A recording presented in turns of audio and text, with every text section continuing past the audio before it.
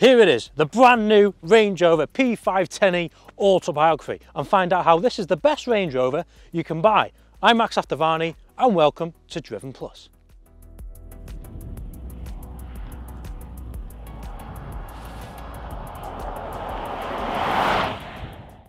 So this is the Daddy Range Rover, the one you want to be seen driving.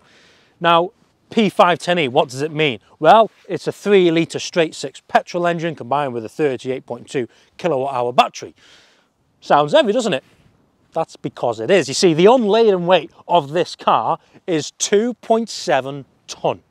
Now imagine a car full of people, a boot full of stuff, and a full tank. This thing will weigh three tonnes. Wow. It's not all bad though. The engine, it produces 503 horsepower and 700 newton meters of torque, 0 to 60 in 5.3 seconds, and a top speed of 155 miles per hour. That's impressive. So in terms of styling from the front, it's not too different to its predecessor, is it? But why fix something that's not broken? Oh, mind you, this is a Range Rover. Let's not mention broken. Anyway, moving on. But now looking at it, it's boxier but yet curvy at the same time. The biggest thing which has changed is probably the, the bottom part of the bumper here, but other than that, it looks great. So the side profile, it's not too different to its predecessor, although it is a little bit longer. Now the paintwork, it's lovely. It's the Carpathian Grey, which is an 865 pounds option. Although what you see here is not what that grey looks like. This has been satin PPF by APM Customs. Check them out if you want stuff doing like this or wrapping. But no, the way you, you look at the, the combination between the interior colour and the Carpathian grey, it looks so good. It's so luxurious. It looks like a yacht on the road. Right, so onto the rear. This is what Range Rover has changed the most. It looks great. Load of hidden lights and the indicators light up in a swoosh motion as it is doing there. Very nice, very elegant, very sleek. Now, as we come down here, let's do the, uh, the obligatory sound test. Oh yes, the Range Rover P510e doesn't let you rev the engine up. Great. Okay, so as we look into the boot, Range Rover's kept the traditional split tailgate. Be a bit stupid if they got rid of that, wouldn't it? So there we are, 835 litres of storage. That's with the seats up. Seats down gives you a further 1,000. drop this tailgate down. Now here comes the fun fit, which is brand new to the Range Rover. Oh, I have now a seat on this. That's pretty cool, isn't it? As I go down and I pop it all the way back down. Oh, give me a minute. I don't make these things easy. now remember that Sport I reviewed? It's got one of them. Now this thing makes more sense than the Sport because if I bring the tailgate up, you can now put all your bags when you go shopping so none of it fly, flies down and you lift the boot up, you can just take them out. That makes sense. Now this one's got the tow bar pack, so it will now have an erection.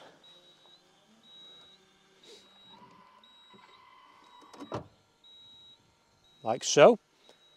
And here comes its party piece. So you know when you plug your, your tow bar in, you don't want to check that all the lights are working, it's all connected, right?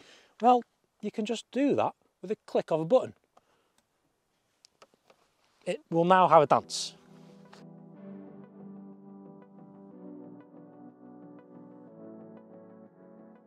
So the driving position is good, loads of vision, and one thing which particularly helps that is the introduction of these triangle windows here. Now they repositioned the wing mirrors slightly further back than the original one, and they shrunk them down. So in terms of blind spot that way, it's not kind of usual Range Rover, it's a lot different, helps a lot. And you get the, uh, the clear view mirror, which is the camera. Now, I was going to turn this off straight away because on the Sport, I didn't have a very good experience with it. But the sunroof, the sun doesn't really shine in too much, so it doesn't blind it. So, do you know what? I'm keeping that on for now. Don't actually mind that.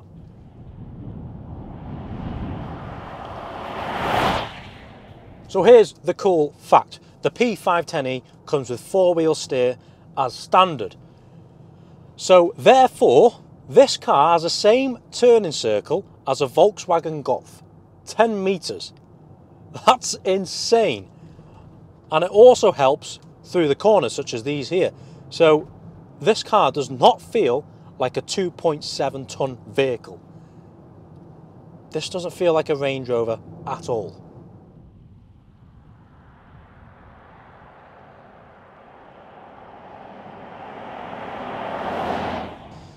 Ah yes, see, you do feel like a king when driving the new Range Rover.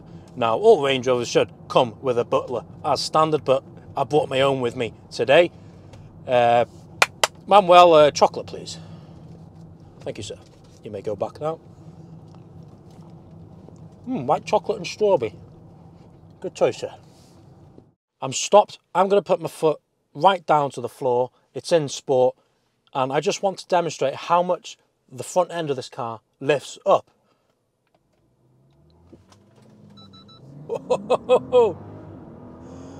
Welcome to Range Rover Airlines.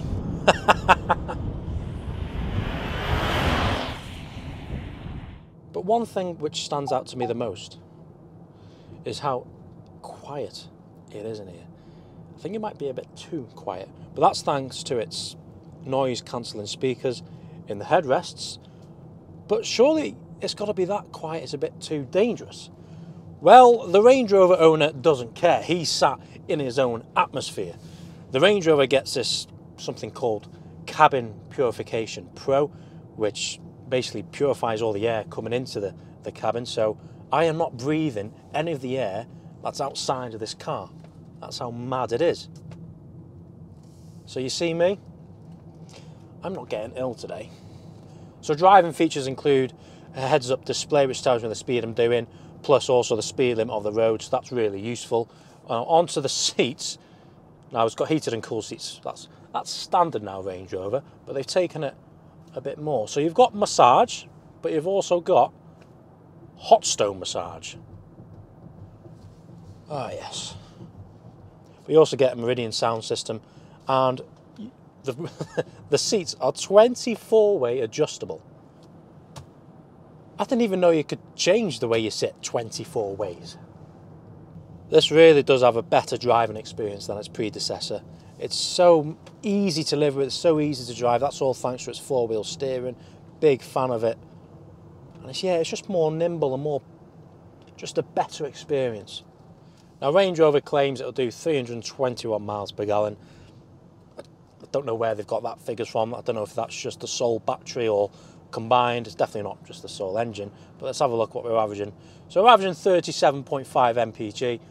That's not bad to be fair, considering it's a three litre petrol and obviously it's a heavy car. So it's quite good. I'd be quite impressed with that to be fair.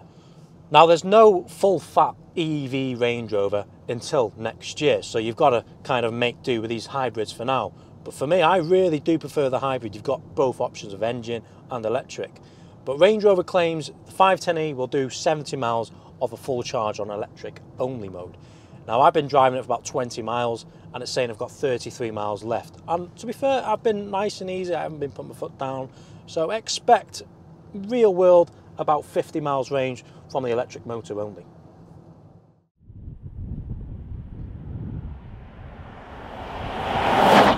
So onto the interior, let's start off in the back. And as every Range Rover, it's a very nice place to be. My seats are electrically adjusted, so I can bring it up, get more comfortable. And all this side panel has been reconfigured, so I can bring like a, a blind, a reading blind, to block out any sunlight coming into the cabin. That's pretty cool, isn't it? It's like a, an old S-Class or old 7 Series back in the day. Bring that back down. I can also control the uh, the panoramic roof sunroof cover thing um, but put that back. Thank you. Uh, ah here we go again.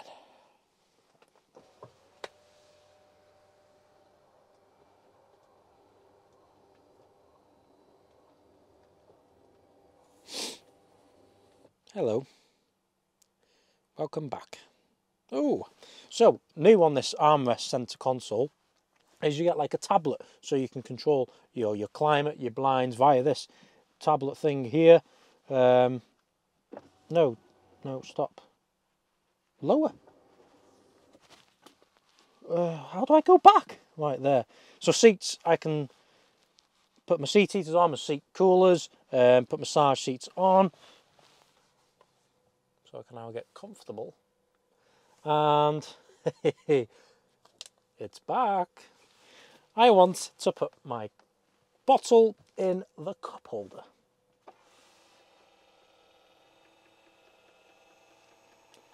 Just give me a bloody cup holder.